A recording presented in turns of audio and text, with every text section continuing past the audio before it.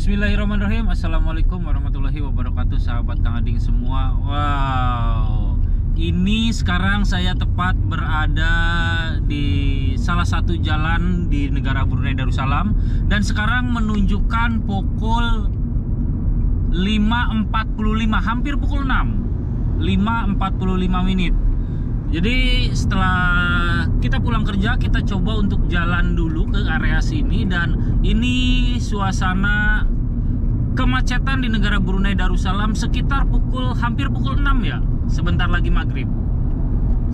Jadi suasananya seperti ini sahabat kalading semua di mana e, biasanya ini sedikit agak macet karena jam-jam pulang kerja biasanya orang lepas pulang kerja itu kan ada yang ke restoran dulu beli makan ataupun beli barang-barang seperti itu. Nah ini suasananya seperti ini. Wow langitnya indah sekali ya. Itu di depan kita masya Allah. Kita lagi menikmati indahnya suasana sore di negara Brunei Darussalam. Banyak yang bertanya kepada saya Kang coba sore hari, pagi hari, dan ini saya coba lagi untuk sore hari sambil menikmati indahnya langit yang masya Allah luar biasa ya. Apalagi kalau kita arahnya ke berlawanan dari sini, pasti cahaya mataharinya akan sangat indah sekali.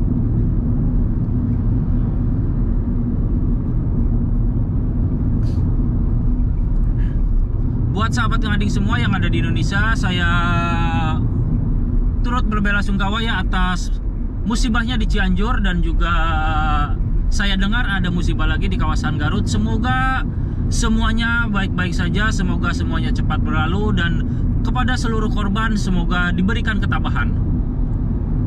Nah, ini ada mobil sedang mogok. Jadi di sini kalau mogok itu memang eh, ada khusus mobil dereknya, tinggal telepon saja nanti mobil dereknya akan datang. Jadi tidak ada juga yang kadang-kadang uh, langsung memanggil mekaniknya untuk datang tapi kebanyakan langsung pakai mobil derek untuk dibawa ke workshop atau ke bengkel. Nah itu salah satu perumahan di negara Brunei Darussalam. Wow mataharinya wah. Hari ini kurang kelihatan ya sahabat ngading semua karena kita berlawanan arah berlawanan arus dengan sumber cahaya matahari. Tapi tetap kita masih bisa menikmati indahnya langit-langit di kawasan negara Brunei Darussalam. Di depan kita itu akan ada airport dan juga lapangan golf di sini di negara Brunei Darussalam. Oh, ini sudah termasuk ya. Nah, ini sudah termasuk lapangan golfnya. Di belakang ini. Nah, itu di depan juga sama. Dan di depannya itu adalah airport. Bandara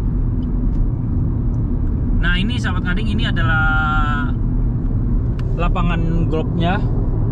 Oh tidak kelihatan ya, karena memang ada pembatasnya.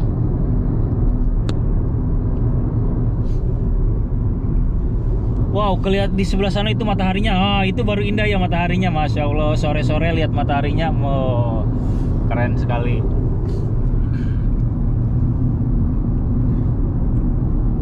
Sekarang sudah sedikit tidak seberapa macet karena puncaknya tadi eh, sekitar jam 5an sekarang sudah mulai sedikit sepi dan macetnya pindah ke tempat-tempat pertokoan shopping komplek.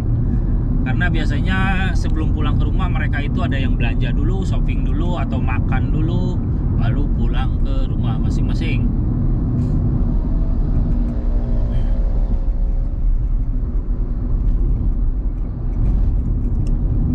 buat kalian semua yang ingin uh, lebih tahu tentang negara Brunei Darussalam, silahkan komen saja ataupun mempunyai informasi di mana tempat yang sekiranya bagus untuk dibuat video, silahkan komen di kolom komentar.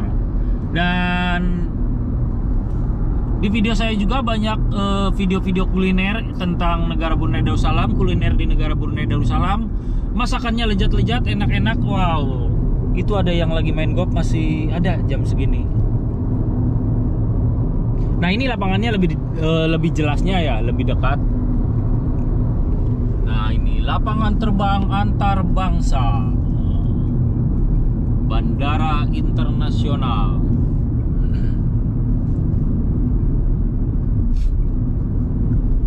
Ini satu-satunya bandara internasional di negara Brunei Darussalam dan saya nanti kalau pulang pun eh, pergi ke sini dan datang pun keluar dari sini. Nah ini eh, bundaran di depan airport. Nah ini rata-rata yang di sana itu pekerja-pekerja yang sudah mulai pulang. Nah. Ini karena di depan kita itu adalah bundaran lah, jadi sedikit macet seperti ini. Ini bukan macet ya, sedikit lambat saja.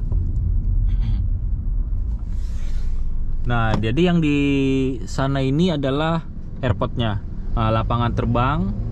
Nah, jadi kalau misalkan kita datang ke Brunei atau keluar dari Brunei, ya selalu lewat airport ini. Hmm.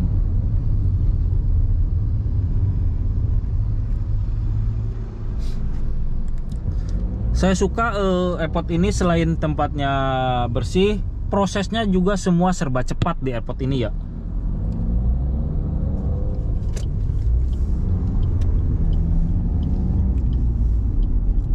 Nanti kapan-kapan kita akan coba jalan-jalan ke da dalam airport sana ya. Memang sudah ada beberapa video, tapi nanti kita akan coba lagi melihat suasana terbaru di airport negara Brunei Darussalam.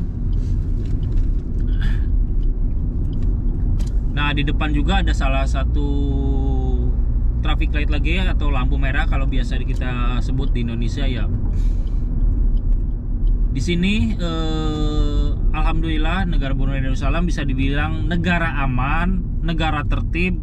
Jadi di setiap lampu merah pun tidak disimpan pos-pos polisi ya. Karena memang negara Brunei Darussalam ini selain aman, tertib dan rakyatnya juga sadar akan peraturan-peraturan. Nah ini juga ada bisa dilihat di sisi kita itu pohon-pohon seperti ini. Jadi di negara Brunei Darussalam memang kalau misalkan area yang tidak dibuat bangunan itu akan dibiarkan hijau seperti ini. Nah jadi area ini memang dibiarkan untuk hijau seperti itu ya tidak diganggu, tidak apa itu paling depannya dirapikan seperti itu, belakangnya dibiarkan. Jadi tetap keasliannya itu tetap terjaga. Nah, ini salah satu bundarannya eh, traffic light lampu merah. Wah, sudah sedikit gelap ini sekarang pukul hampir pukul 6.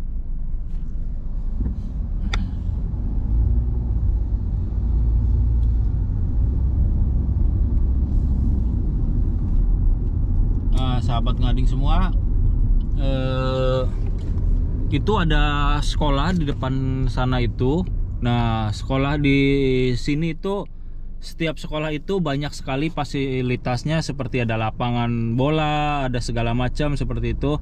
Dan uniknya di sini di negara Brunei Darussalam setiap anak-anak yang berangkat sekolah itu dari rumah langsung pergi ke sekolah dan pulangnya dari sekolah itu langsung ke rumah. Jadi tidak ada istilah nongkrong-nongkrong di jalan ataupun siswa itu keluar dari sekolah jalan-jalan nongkrong-nongkrong di warung seperti di sini betul-betul tidak ada ya. Semua siswanya rata-rata disiplin. Oke, ngomongin tentang sekolah nanti akan saya lanjutkan videonya di episode kedua next part 2 ya. Oke, jangan lupa like, comment dan subscribe. Oke, see you. Wassalamualaikum warahmatullahi wabarakatuh. Bye bye.